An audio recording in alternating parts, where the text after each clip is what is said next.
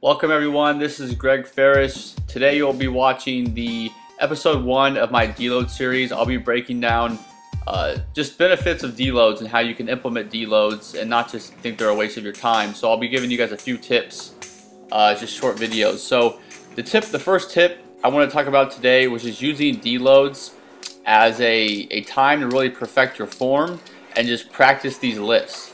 You know, I always I always draw comparisons between just being a former athlete, between you know weightlifting and you know other sports, it's basketball, football, baseball, tennis, whatever.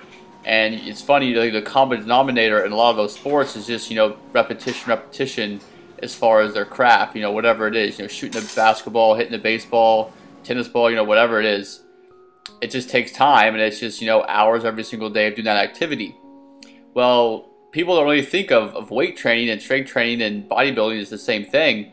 But if you think about it, you're, you're doing these motions. And at the end of the day, if you're doing these motions more often, you're going to get better at them. So using a deload week especially to, you know, I, you see I have my volume listed up there. Of course, my volume is really, my intensity was really low this week.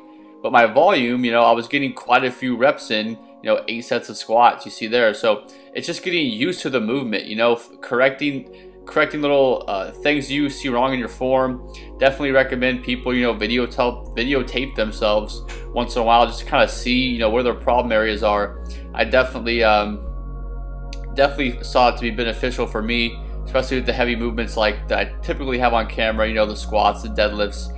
You know, there's there's things that you definitely can't see, obviously, when you're doing the movement. That when you actually go back and watch, you can pick up on, just help yourself. So, again, but the main thing I want to talk about in this first episode, though, was just not to overlook the importance of just being really, really good at the movement. You know, of course, you're going to have to get stronger. Of course, you're going to have to use, you know, heavy enough weight and things like that. But at the same time, just don't underestimate the power that it can have to simply just go in there and squat and squat and squat and squat.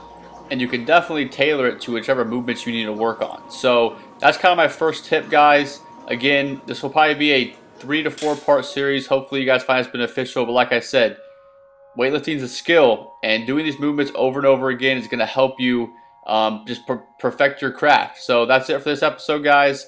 Make sure you check out episode two, which will include some flexibility and mobility tips you can use on your deloads and really anytime. So take care, guys.